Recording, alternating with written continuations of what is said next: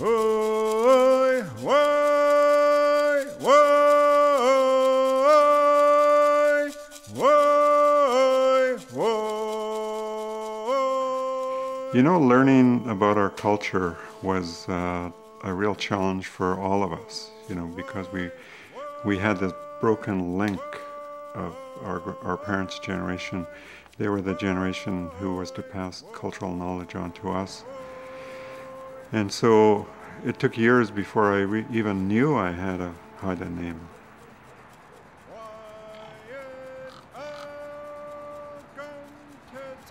Die Keo Otsandlands Ija, die in Gagang.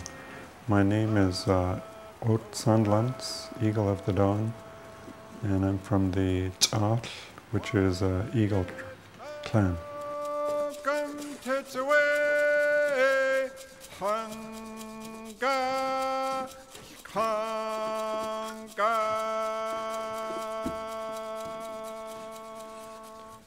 I work in all mediums, multimedia.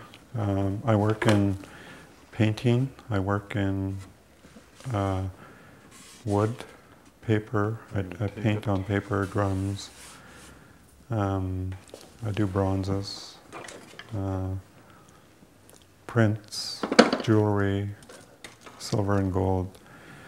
I did do argillite. Actually, that's how I started in argillite. Um, but the last piece I carved was in 1974.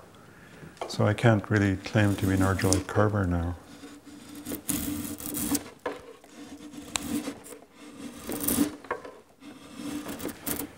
I don't really have a preference in mediums, but I do enjoy the medium I'm working in at the moment. And what I found is uh, the medium that I'm working in, it lends itself to a different expression.